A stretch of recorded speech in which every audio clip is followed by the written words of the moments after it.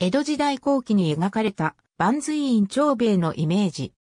歌川国吉、国吉も、幼少札不現金男、万随長兵衛万随院長兵衛夫妻の墓万随院、長兵衛慶安3年4月13日あるいは、明暦3年7月18日ともは、江戸時代前期の町人。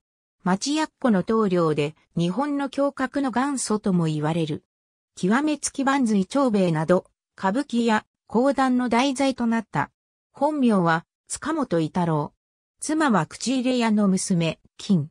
元那八年、誕生。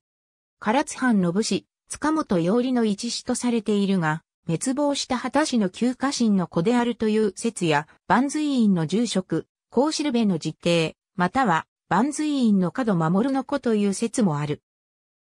父の死後、高シルベを頼って、江戸に来て、浅草花川戸で、口入れ屋を営んでいたとされる。旗本奴と男立てを競い合う、町役子の棟梁として、なおおるが、若い者の揉め事の手打ちを口実に、旗本奴の棟梁、水野十郎左衛門に呼び出され殺害されたという。没年月日は、竹江年表やその母碑によれば、慶安3年4月13日であるが、明暦3年7月18日という説もある。去年36。